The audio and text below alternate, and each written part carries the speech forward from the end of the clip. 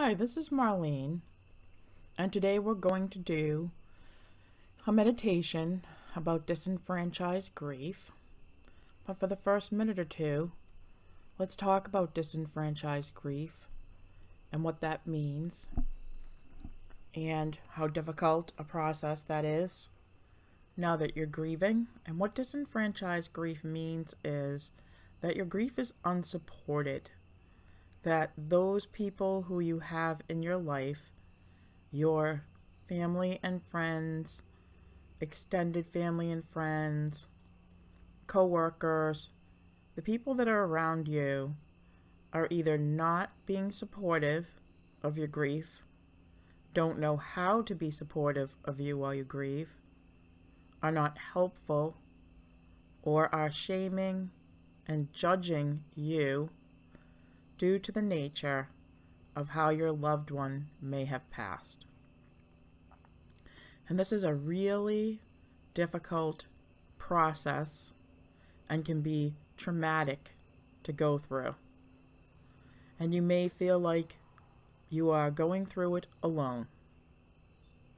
And it can be a very eye opening state to be in when you realize that you are not going to receive the support that you need most right now from the people that are around you when you need it most. And that can be very disheartening, very sad. And now that you're vulnerable, that you're grieving, and you're intensely sad, and you're experiencing overwhelming loss, that you need compassion and comfort and patience and kindness and acceptance while you go through this, but you're not getting it. And that is not good for society. Now, we can help you to get through this. Now, I know about this. I have gone through this myself. And I do know that people can say really hurtful things. And I don't mean by accident they might not say the right thing or they might accidentally say something insensitive. That's not what I'm talking about because everyone's going to do that. Grief is a tough thing and not everybody knows what to say exactly. As you may have already experienced. That's just general awkwardness. And we can, although it's not helpful, we can let that go. But what I'm talking about is when someone deliberately says something mean, accusatory, or shaming or blaming towards you about you, about your family, or about your loved one due to the events or the nature of their passing. They may have suffered from an addiction. They may have taken their life due to suicide. There may have been an accident There can be any number of reasons why somebody may have passed. And I understand what it's like to lose someone due to addiction or overdose. And people sometimes might not get behind you around that. They might not understand it, or they might be judgy, or they might be shaming. And shame is the last thing that you need to experience right now. So even without a meditation, I'm going to tell you point blank that if there is anyone in your life right now who is shaming you or blaming you or saying insensitive, unkind things, unless maybe they went through the loss themselves and they're completely traumatized by it and they're just venting. If in that event, if that hurts you, they might need a support person of their own. You can ask them to not vent to you, that you're trying to grieve, that you don't want to say bad things about the person who passed. And you can ask them to stop. You could ask them to stop nicely the first time, and if they don't, you may need to stop communicating with them altogether. Or you may need to complain to someone about someone else and have someone else act on your behalf and ask this person to stop saying unkind, insensitive, and basically cruel things to you about the person that you lost. Because that's absolutely not necessary. It's totally unacceptable. And in my opinion, it's an absolute abomination. Because grief is such a sensitive process and it takes so much time and so much energy to go through that the last thing the person who's going through grief needs is someone being insensitive and unkind and judgy. And I just wanted to validate you about that. Please don't take on any of that shame or judgment. And if you're alone in grief, in the meditation, we're going to walk through how to reach out. So I've talked now for six minutes. And I've tried to validate you, and I may, in fact, have brought stuff up that have made you feel a little worse about the situation that you might be in. But now we're going to speak comforts. You're going to just simply self comfort, get yourself in a really comfortable position. If you're feeling strong and relatively awake and you want to sit, or if you'd like to lie down in your favorite spot, all nestled up in your bed or your couch, and just really self soothe and just get into yourself. Because this is who you have right now. You have yourself. And this is the time in your life that you're going to learn how to really self nurture. Because now, self nurturing is not a privilege for you, it's become a survival skill.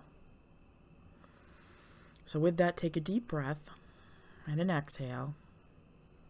And you have total permission from the universe to focus in on yourself right now and completely self nurture. To absolutely take care of yourself. To focus in on yourself and your own healing. Take a few more deep breaths because breath is the bridge between the mind and the spirit. And it's how we go from a state of fully awake consciousness to a state where our subconscious mind is going to become rested, is going into a different state of mind where you can become open to suggestion and just relax. Relax your eyes, and if they're stressed and tense, roll them up to your eyebrows. With your eyes closed, stretch your eyes and release and soften your eyelids, soften your eyeballs, and simply shut down and shut off your thoughts and follow my voice. Deep inhale, slow exhale. And find the part of your body that still feels tense. We're not going to go through every part of your body. I don't do progressive relaxation. We get right into the meditation. But go to the one part of your body that's tense and just release it. You can tighten it, tighten it, and release it. Breathe into it. Breathe some soothing, soft energy into it. See a nice, fluffy pink cloud all around that part of your body and all around you. And another, another fluffy white cloud all around you. And now we're going to picture that quiet place where you can go to in your mind. Maybe a place that you used to go to with your loved one who passed. whoever your loved one might be. A moment in time that you both shared, a vacation or a beautiful day that you both shared that was very special. And just visualize that place and see yourself sitting there completely and totally relaxing. See the beauty of the environment. Draw from the energy of the environment. Draw from what's beautiful and serene about it. And just see yourself in this environment and experience the elements that are surrounding you. Because you're going to need to go here now to escape your reality from time to time when it just becomes too intense. you're going to close your eyes and you're going to go to this safe space where you can find serenity. And when you become really good at this, when you come here, you're going to invite your loved one who has passed, who has crossed over into the next stage of where the spirit goes when it's no longer in the body. We're not going to exactly do that now. We're going to focus in on you and what you need to do to get peace and serenity and move outside of grief and shame and blame and emotional turmoil. And because you don't have the support of friends and family, we're going to ask the universe and the special, unique guides and archangels who are responsible for helping human beings on earth as they recover and go through the grief healing process. Sometimes it's a wonderful gift when a person is no longer available or you don't have the help of the person who plays an important role in your life if they don't support you the way you need to be supported. Because then you get to go to the angelic realms and call upon the support of a specific archangel or guide. And right now, the first two helping spirits, or more than two, who you are going to call upon as your own spirit guides and become very acquainted with them, and they can step forward at this time. This is now going to be your team of people, of spirits that may not be in the body, that are here to help you as you go through this difficult time and this difficult transition. They're going to help you ease your suffering. And the next level are the archangels. Archangel Azrael, who specifically is the archangel to help people as they go through the grieving process from the loss of a loved one, whether that be through death or the end of a relationship. So call, just accept the support and the help of Archangel Azrael. And when you are in your waking mind, you can look up Archangel Azrael and read more about this archangel. Feel the presence of the archangel around you now. Feel how comforting that presence is. What a soft presence this archangel, what a gentle, soft presence this archangel has. This archangel is sometimes depicted as the weeping angel, and this angel's wings will just absolutely envelope you in the warmest, most comforting, most beautifully soft colored light. And just gently just begin to soothe and soften the pain that you may be holding in your body, in your heart, in your solar plexus. Allow this archangel to support you through this extremely difficult transition where you may feel abandoned, unsupported, and left in the cold by those around you who could or should be helping you, but they are not. Feel the archangel making up that support tenfold. And just relax and let go and surrender into the abundant healing powers and energy of this beautiful angel. And Archangel Azrael is going to welcome in the support of other archangels who you're going to need right now and who want to step forward and help you. Archangel Michael is responsible for easing fear and stress and overwhelming emotions inflicted upon you by other people whose social behavior and emotional behavior is reckless and hurtful. An archangel, Michael, can come in and protect you,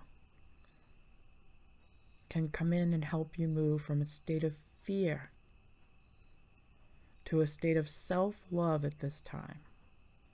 Loving yourself.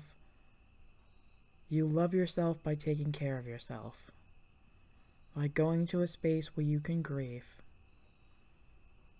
by creating a container for yourself, for your own grief, whether that be in your bed or in your room or out in nature, creating a space and time to grieve and allowing Archangel Michael to comfort you and make you feel safe.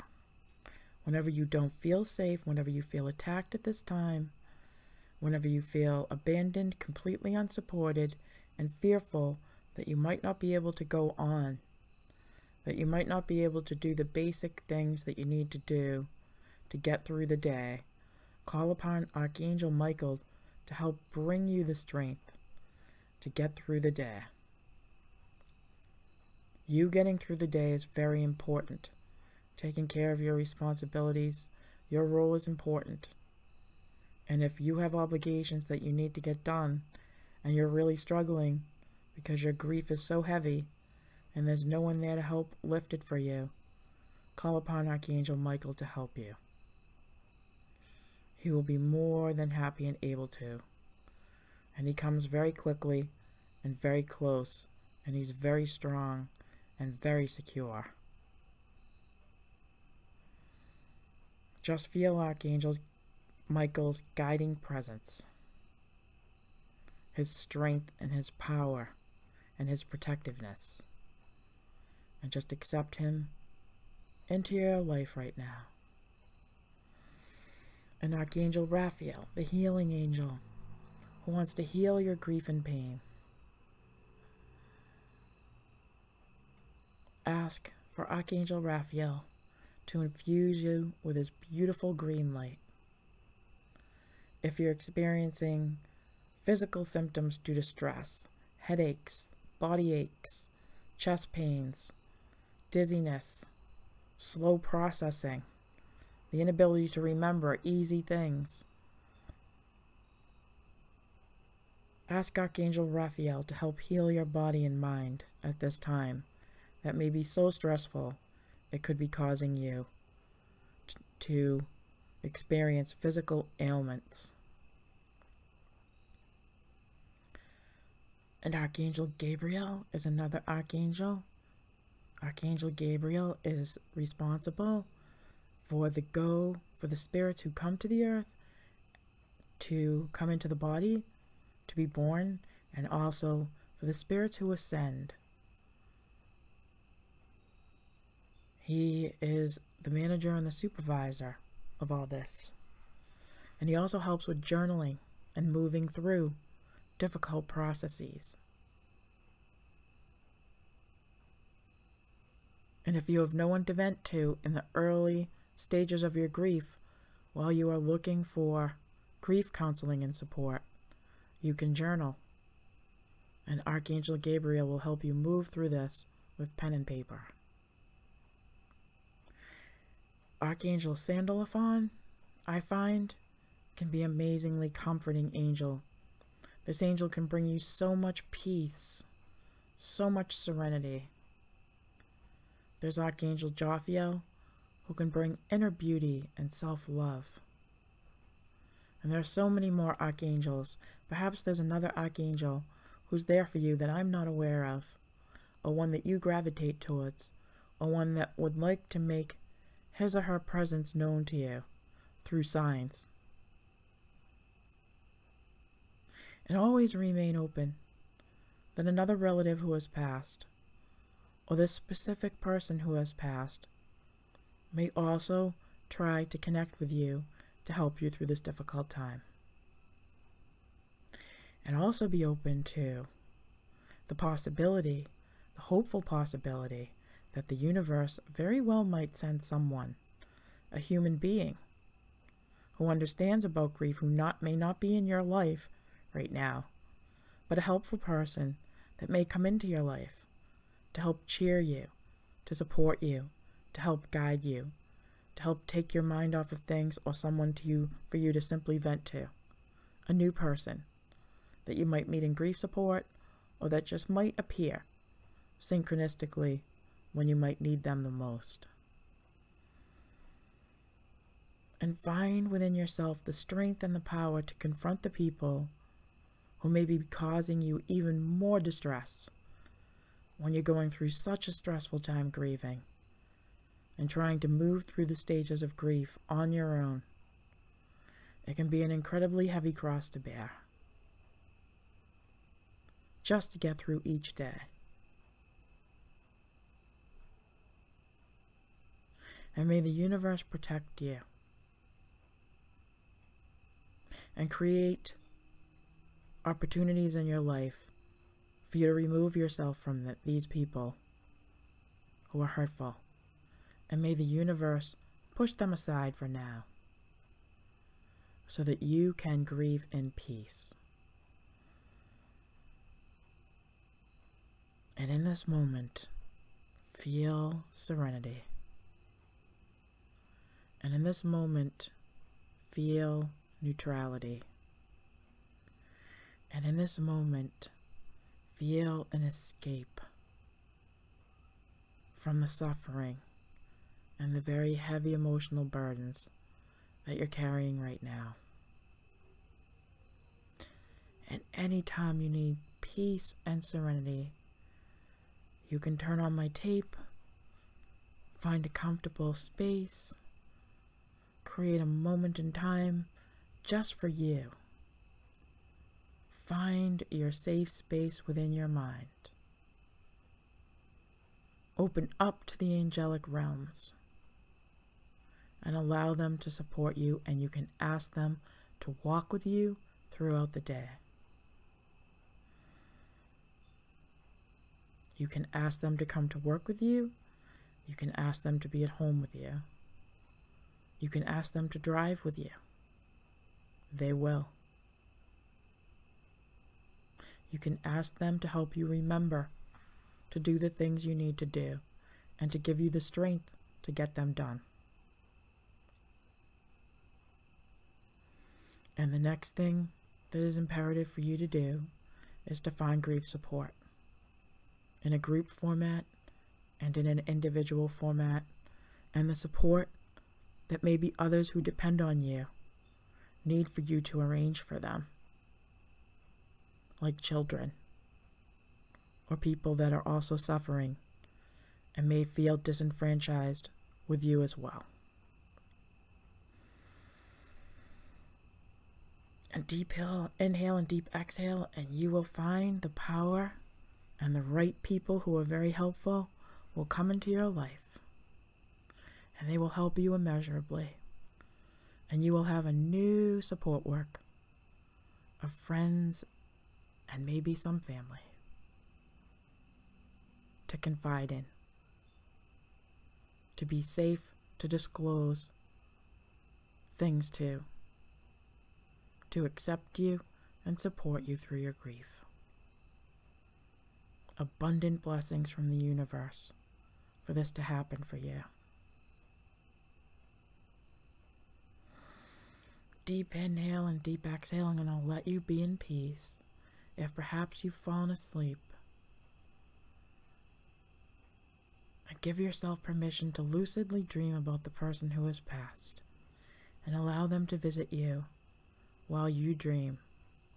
Be open to receiving them their comforts, as their spirit is also going through a grieving process as well.